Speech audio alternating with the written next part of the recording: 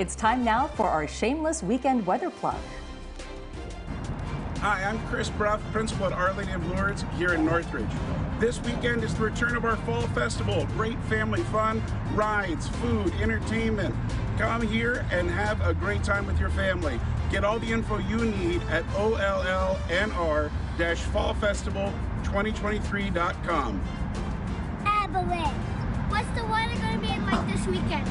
Oh, It's going to be beautiful and it's going to be such a fun time. I mean, really, we couldn't ask for better weather this weekend in the valley. We're going to be in the 80s, upper 80s, lots of sunshine. So, certainly, maybe bring a little water, pack the sunscreen, a hat.